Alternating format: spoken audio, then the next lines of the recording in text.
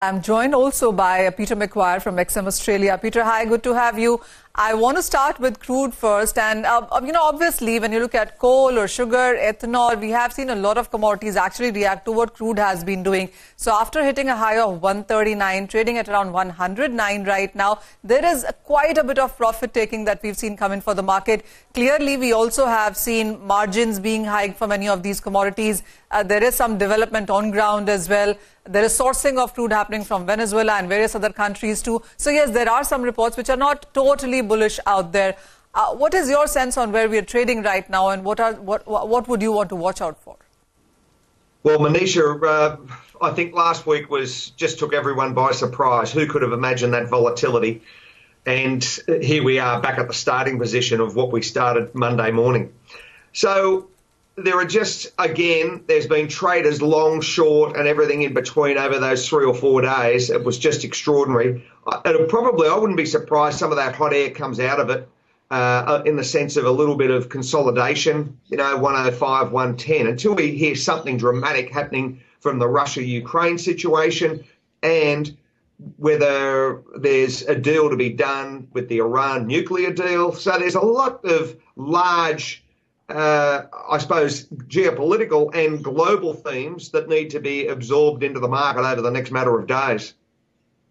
Uh, you know, the, the last week was a, was a week when we saw profit taking coming in, but we've seen that decline getting extended as we've started this week as well. So, yes, there are some conversations. The threat, uh, the fear, the fear of war or even more sanctions, all of that is not out yet. Uh, how would you look at traders going in for this profit taking? How lower could this go? There are people also saying that there are buying opportunities now coming in for many of them. How are you reading it?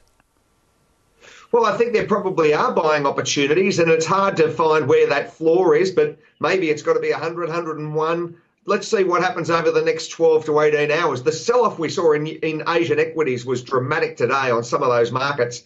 So I think that there's a general general theme as far as nervousness from equity markets, and that could drag crude a little bit lower also that hot air seems to have dissipated a little bit from the Russia situation, Manisha. So I wouldn't be surprised for it to give up a few more bucks. You've got NYMEX at around about 106.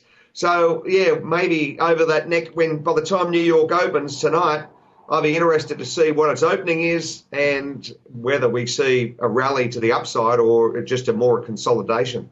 Hmm.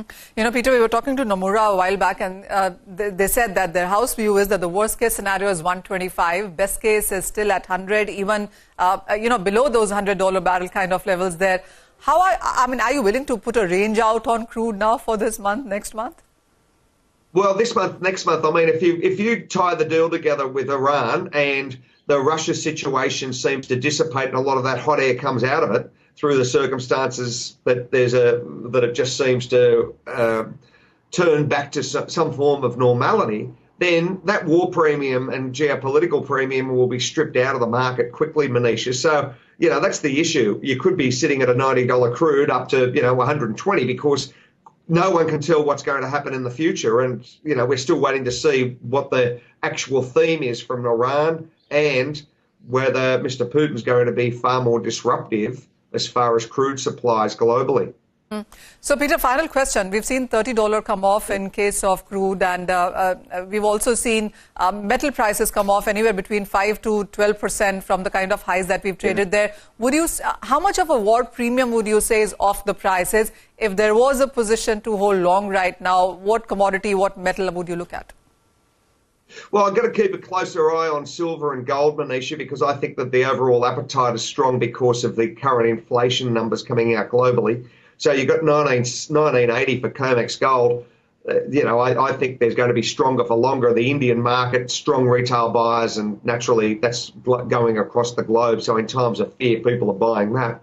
So I think that the gold market, I'm also looking as far as some of those base metals. They've, some of them have given up big licks and uh, let's not forget what happened to nickel last week. It was just extraordinary. So that just demonstrates the volatility that presents itself to base metals, precious metals, and of course energy and foods.